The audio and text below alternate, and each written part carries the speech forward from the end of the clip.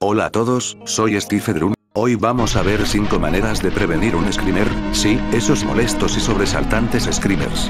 Todos alguna vez nos ha tocado ver alguno de ellos y claro, sabemos que no nos deja ver algún video a gusto. Número 5. Checa los likes y dislikes. Si estás viendo algún video de miedo o mensajes subliminales, sabrás que la mayoría tiene screamers. Si te fijas bien en los likes y dislikes, te darás cuenta que tiene más dislikes.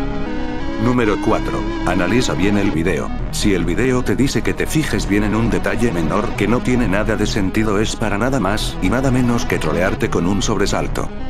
Número 3. El youtuber te dice que tiene un problema de sonido y que no se alcanza a escuchar bien.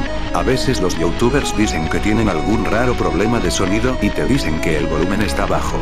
Sin embargo, esto es falso. Cuando un youtuber publica un video lo primero que hace es checar bien su aparato de edición, sonido o grabación. Así que cuando veas un video con esta característica ten mucho cuidado. Número 2. Fíjate en los comentarios. Checa bien los comentarios del video y te fijarás que algunos dicen que hubo algún escrimero o algo desagradable. Número 1, la más confiable. Coloca el puntero por el final del video. Si arrastras el puntero de tu ratón por el final de la línea de tiempo del video y ves una imagen del exorcista o de algo espantoso, te puedo asegurar 100% que ese video tiene un screamer. Ten mucho cuidado. Bueno, muchas gracias por ver, espero que esto les haya servido de mucho y tengan en cuenta lo del pack de juegos de la clásica Nintendo 64. No tiene virus y los juegos son muy ligeros.